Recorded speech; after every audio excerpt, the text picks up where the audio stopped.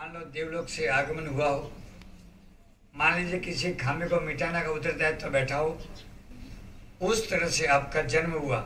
जन्म हुआ ये कि माँ बाप की उम्र प्रौढ़ बनने की तैयारी में थी। यानी पूज्य योगीराज के सात बहनें थी।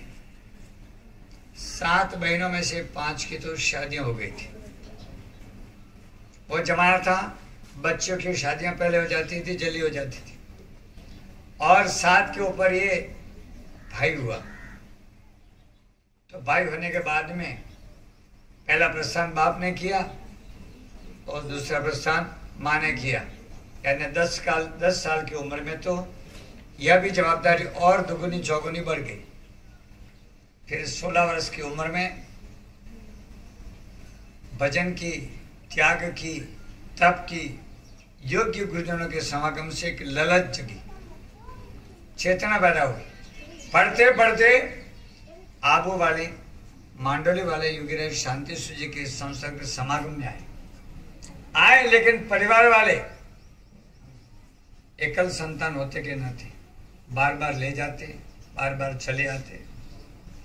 यहाँ तक कि परिवार ने दबाव बनाने के लिए तीन तीन सकपन के रिश्ते किए। परंतु इस सच्चे योगी राज ने तीनों सकपड़ों में छुपे से जाकर के, जिनके साथ रिश्ता हुआ था, उन्हें चुनरे उड़ा करके बहन का रिश्ता बनाते हुए आगे चलते गए। 16 से 26 साल, यानी 10 साल का कठोर परिश्रम। लाए, फिर परिवार चले ले जाए। ऐसा करते योगीराज शांति जी ने अपने अध्यापन के लिए, संस्कार करने के लिए कम से कम आपको साढ़े चार साल प्रशत अब तो हरिद्वार गुरुकुल में पढ़ाने के लिए वहाँ भेज दिया।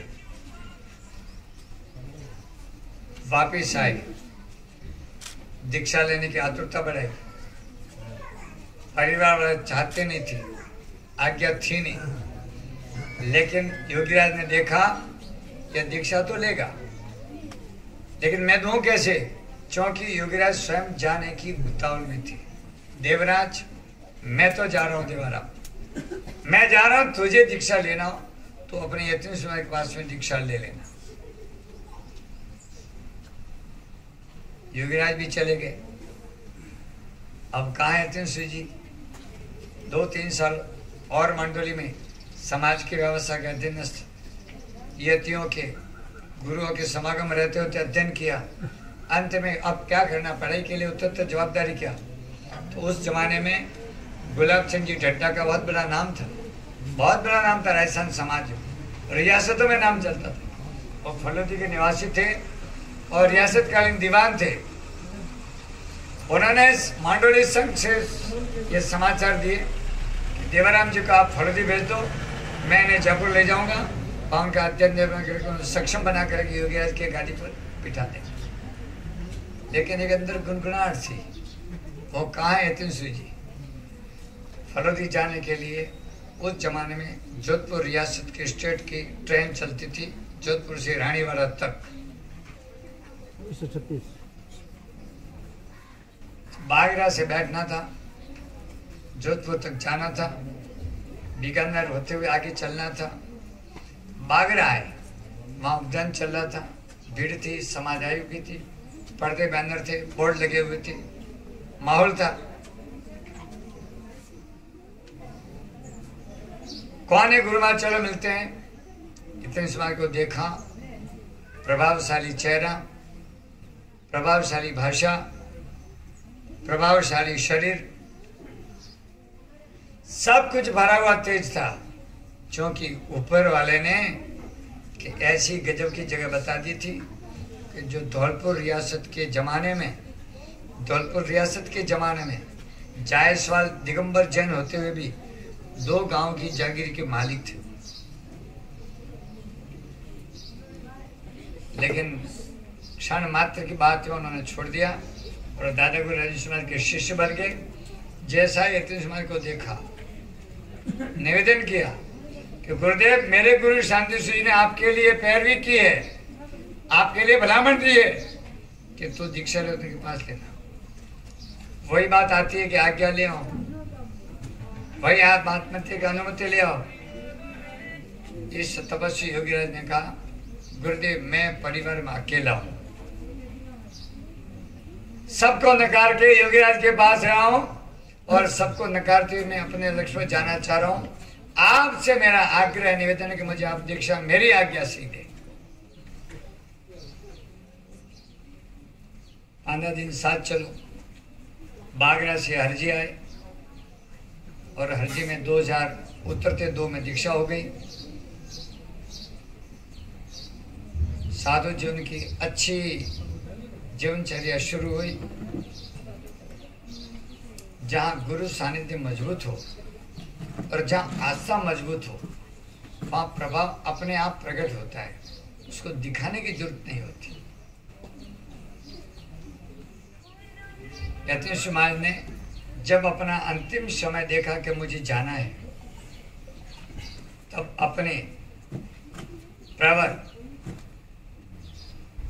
नंबर दो, नंबर पहले तो वल्लभ जी महाराज साहब थे यतीश महाराज के शिष्यों में, और नंबर दो में विद्याचंद महाराज साहब थे।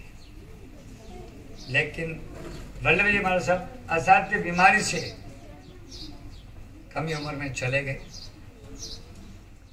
और विद्याचंद समाज उस समय प्रवर सबसे श्रेष्ठ वडील थे। विद्याचंद समाज को बुला कर कहा कि विद्या, अपने जाने की तैयारी है।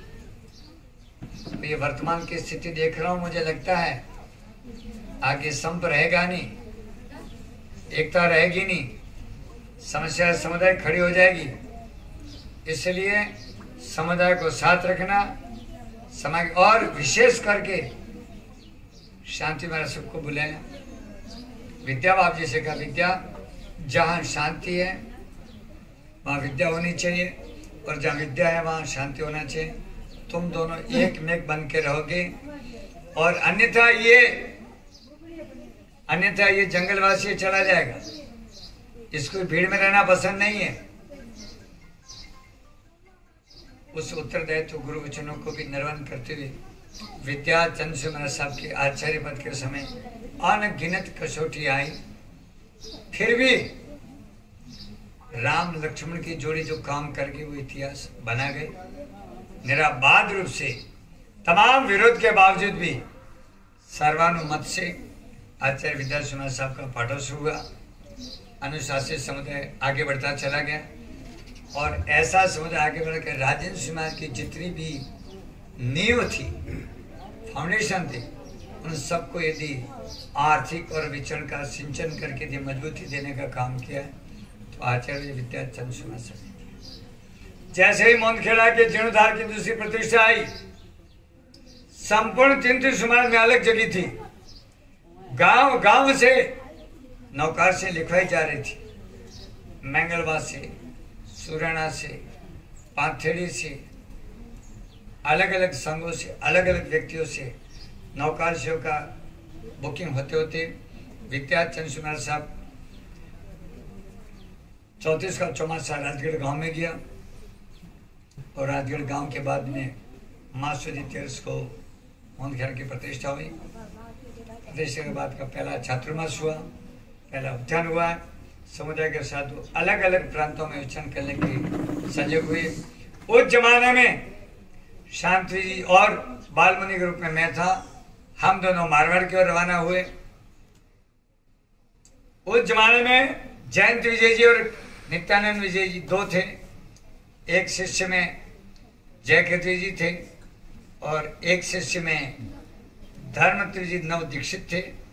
इनको लेकर के दक्षिण भारत में जाने का कार्यक्रम बना और उस जमाने में लक्ष्मण जी थे उनके शिष्य। में वर्तमान में लेखन सूर्य जी है। और लेखन जी इन दोनों भी दक्षिण की ओर विहार किया।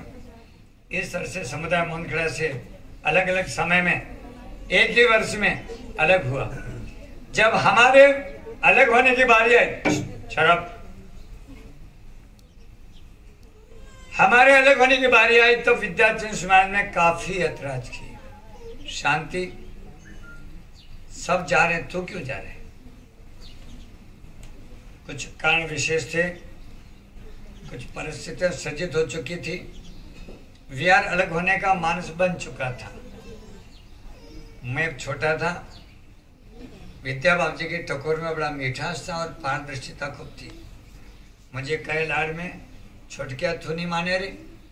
तूने शांति नहीं मना ले, क्यों करे? मैंने कहा बाप जी यह काम मेरा नहीं।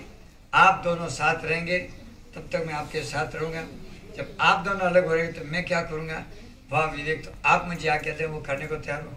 मेरी कोई उतावल की तैयारी नहीं।